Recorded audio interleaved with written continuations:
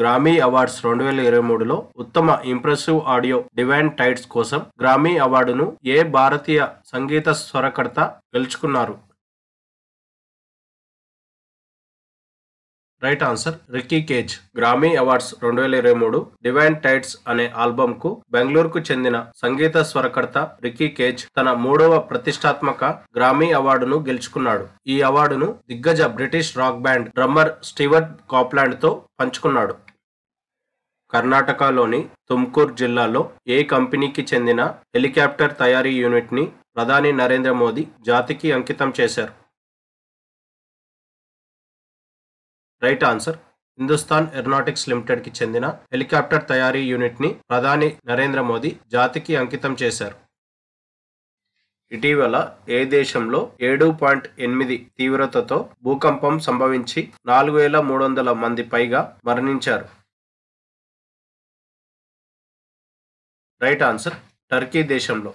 Turkey దేశంలో మొత్తం మూడు భూకంపాలు ఇరవై నాలుగు గంటల వ్యవధిలో సంభవించాయి. మొదటి తీవ్రత ఏడు పాయింట్ ఎనిమిది ఉండగా రెండో తీవ్రత ఏడు పాయింట్ ఐదు మూడో తీవ్రత ఆరు లోపు నమోదయ్యింది. టర్కీతో పాటు ఈ భూకంప ప్రకంపనలు సిరియా దేశంలో కూడా సంభవించాయి. టర్కీతో పోలిస్తే సిరియాలో నమోదైన తీవ్రత స్వల్పం.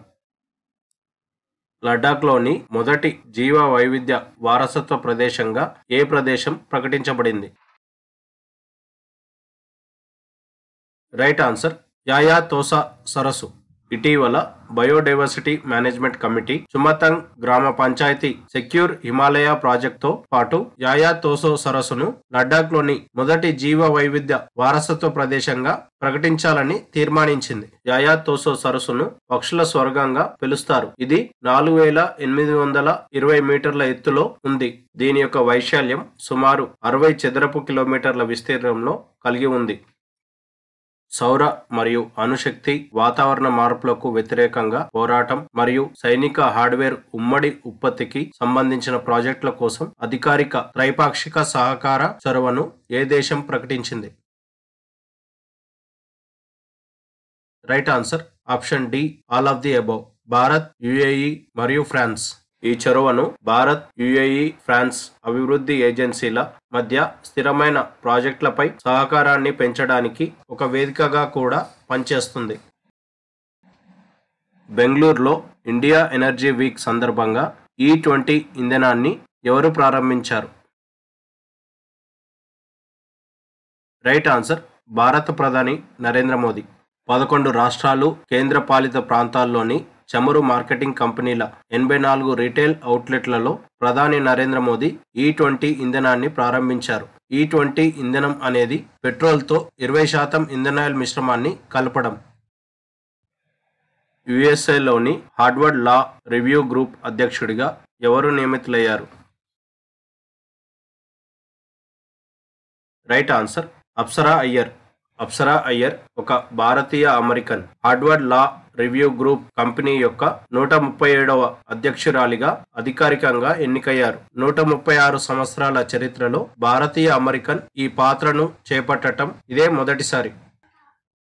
అదానీ గ్రూప్ ఆఫ్ కంపెనీలకు ఏ బ్యాంక్ డాలర్ రెండు పాయింట్ ఆరు బిలియన్ల రుణాలను ఇచ్చింది? Right answer State Bank of India. అంతర్జాతీయ అభివృద్ధి వారోత్సవం ప్రతి సంవత్సరం ఏ తేదీల్లో పాటిస్తారు?